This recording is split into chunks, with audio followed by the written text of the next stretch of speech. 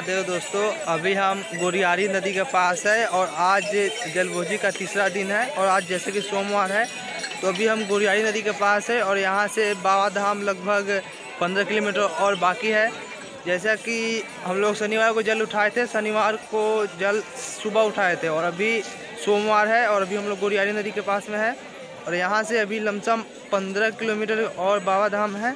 तो आपको हम दिखाते हैं कि गुरियाई नदी कैसा है और यहाँ पे कितने भीड़ है, कहाँ तक पानी है, सभी चीज़ें आपको दिखाते हैं। बने रहिएगा चलते हैं। ये आप देख सकते हैं दोस्तों, अभी हम गोरियारी नदी के पास है और ये रहा नदी। और यहाँ पे आप साइड में इधर देख सकते हैं, ये रहा ही नदी साइड में।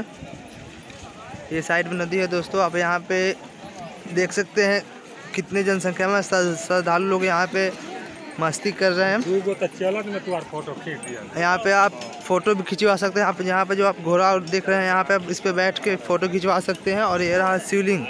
यहाँ पे देख सकते हैं लोग कितने मस्ती कर रहे हैं श्रद्धालु लोग। आज जैसा कि सोमवार है और सुबह का सात के आसपास टाइम हो रहा है दोस्तों। अभी हम लोग गुरियानी नदी के पास है। और अभी यहाँ से देवघर लमसम पंद्रह किलोमीटर और दूर है दोस्तों।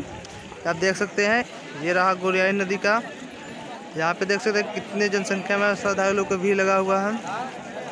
यहाँ पे आप जाकर फ़ोटो खिंचवा सकते हैं, वो देखिए दोस्तों। शंकर जी। दर्शन कीजिए शंकर जी का दोस्तों, आप लोग यहीं से ये देख सकते हैं शंकर जी।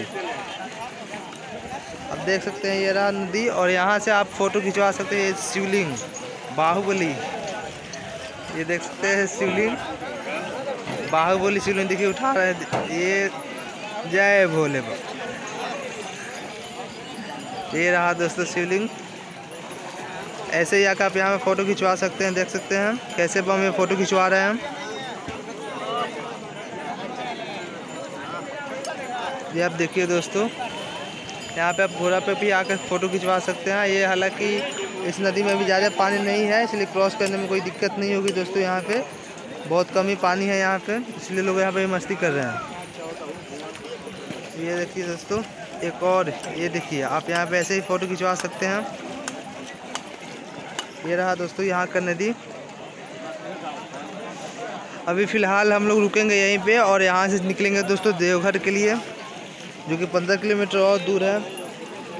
चलेंगे थोड़ा देर में दोस्तों और आपको देवघर का भी पूरा वीडियो देंगे।